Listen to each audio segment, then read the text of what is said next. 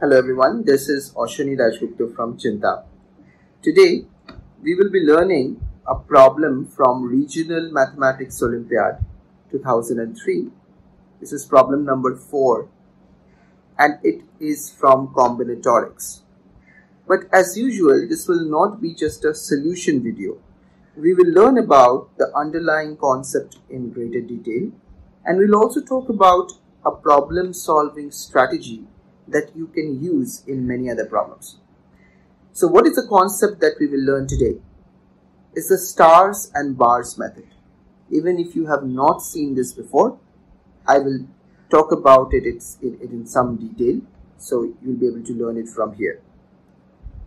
Then we will talk about this problem solving strategy that is useful not only in combinatorics but also in number theory and in other parts of mathematics. It's called introducing the dummy variable. I will tell you more about it as we progress through this video. And at the end of this video, I will give you a challenge problem and you can tell me the answer in the comment section. Okay. All right. But let me first tell you what this problem is all about. Remember, we will learn concepts only in the context of problems. That's how we actually learn concepts. So this problem says that this is a given data. It says that we have three letters x, y and z or three variables which are all non-negative or, or non-negative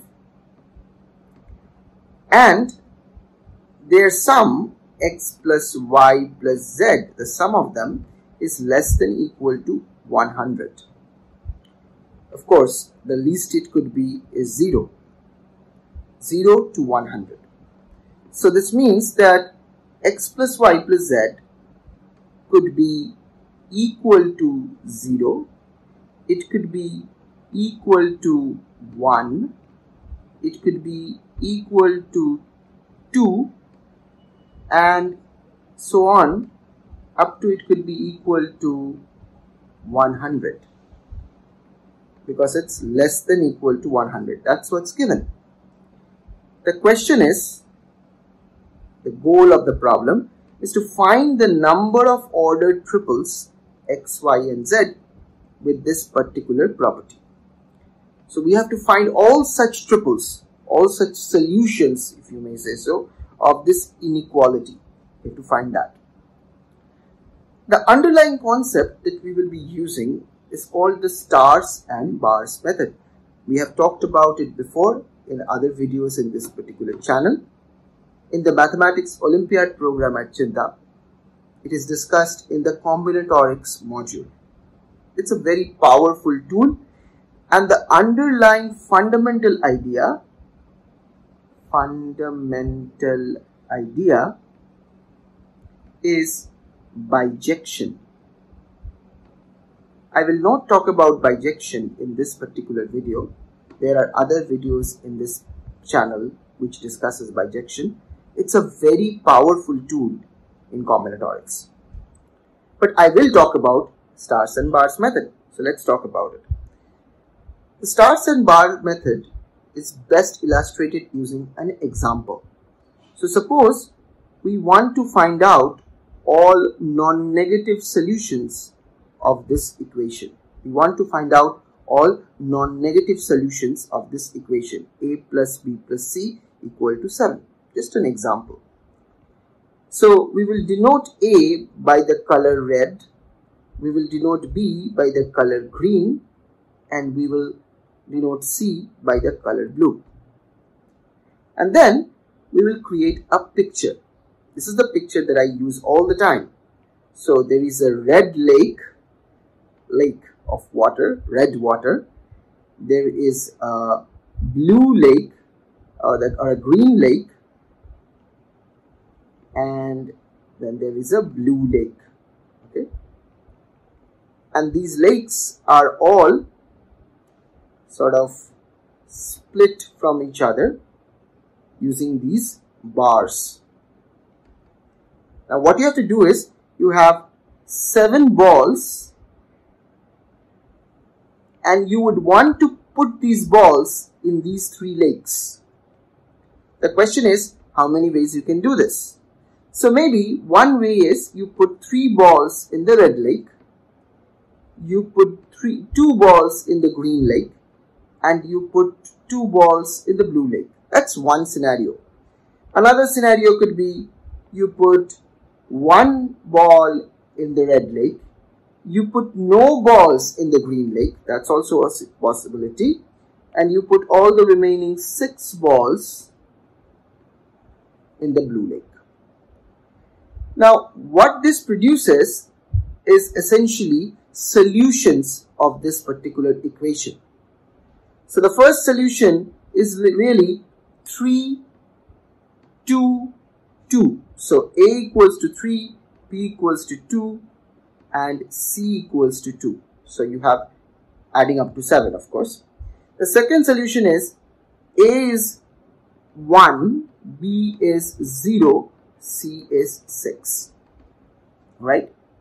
Now, each of these solutions have the corresponding star and bar code. I'll write that each solution has a star and bar code. So let me write what the star and bar code of the solution 322 is and you will immediately understand what I mean. The corresponding code is you have three balls, one bar, two balls, one bar, two balls. Actually, instead of balls, some people use stars. That's why it's called stars and bar code. Okay. All right. Similarly, I have another code for this particular solution. The code for 106 is star bar bar nothing in between these two bars because this is 0 and then 6 stars. Right? So given a solution you can create a star and bar code and given a star and bar code you can create a solution. So I will show you what I mean. Suppose I create a star and bar code and can you tell me what is the solution corresponding to the star and bar code in the comment section? Okay. Okay. That's great. So now we understand what this star and bar code and solution how they're related right? The nice thing is we can easily count the number of star and bar codes here is the final idea the number of solutions is equal to the number of codes. Because for each code you have a solution and for each solution you have a code. This is essentially what the bijection principle is all about. So you just count the number of codes. How many codes are there? Well there are 1, 2, 3, 4, 5, 6, 7, 8, 9 symbols, 7 stars and 2 bars. You can think of each of these plus signs as bars. So 2 bars and 7 balls. So 9 symbols. So how many ways you can arrange the 9 symbols? 9 factorial ways. But 2 of them are same because both of them are bars.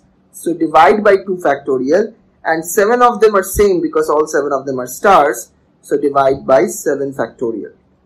Here I am using the concept of permutation with repetition. If you don't know what it is do not worry. You can look into any book any nice book on combinatorics.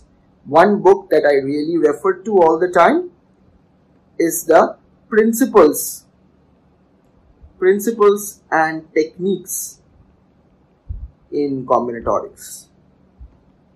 I have put the link of the in the description for that particular book. It's a very beautiful book. You can learn a lot from it.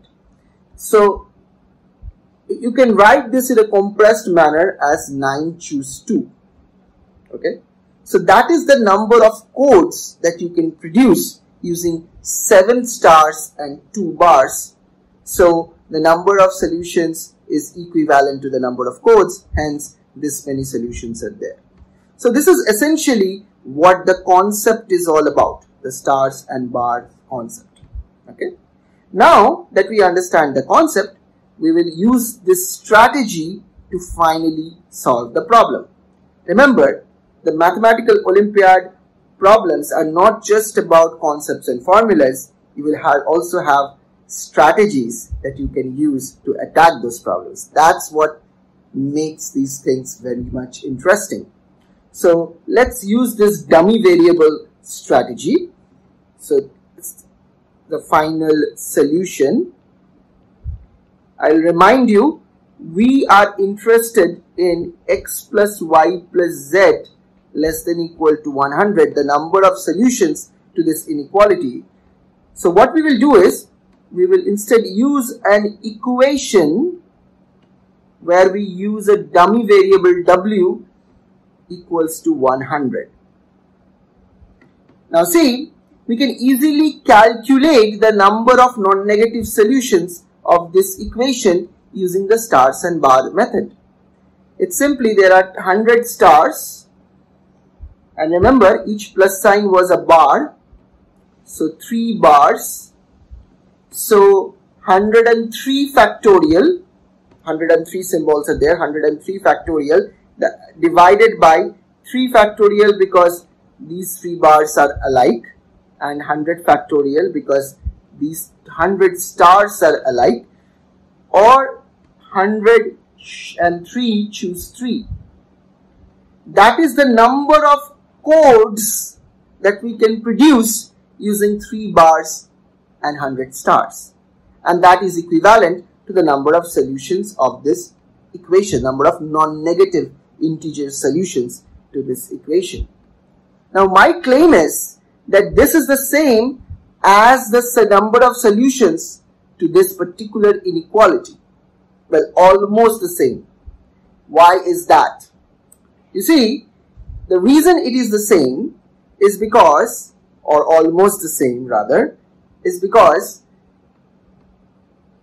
if you put w equals to 5, let's say, then x plus y plus z is equals to 95. That is one of these conditions, right?